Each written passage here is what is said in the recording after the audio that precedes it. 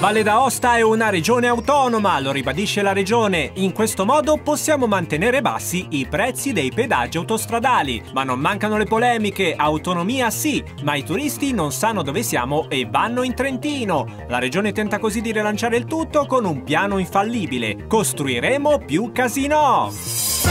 Una pattuglia ha fermato un gruppo di italiani che stava attraversando il traforo del Monte Bianco dopo una fagiolata, nonostante la legge lo vieti espressamente. Gli uomini, già noti alle forze dell'ordine per aver scorreggiato in ascensore il 15 luglio 1996, sono stati sottoposti a un duro trattamento di carboni attivi. Un episodio da stigmatizzare.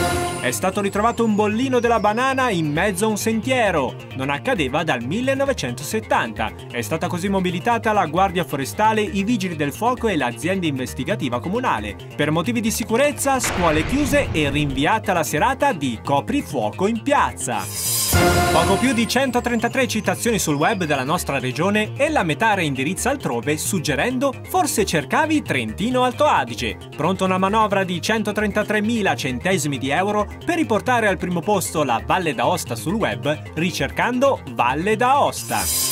L'amichevole tra Borgo Arroccato di sopra e Strada Chiusa di sotto non si è potuta disputare. La squadra di casa non aveva sufficienti giocatori in campo e ha dovuto far turnover tra di loro e mettere in porta un muflone. Peccato che i mufloni siano illegali e sono stati tutti arrestati per traffico illegale di animali non autoctoni.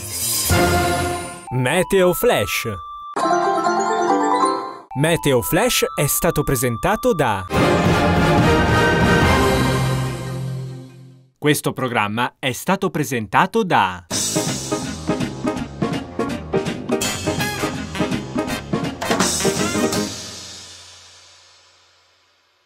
Segui e commenta Canale Test su YouTube, Facebook, Twitter, Instagram, MySpace, Netlog e altri social dismessi.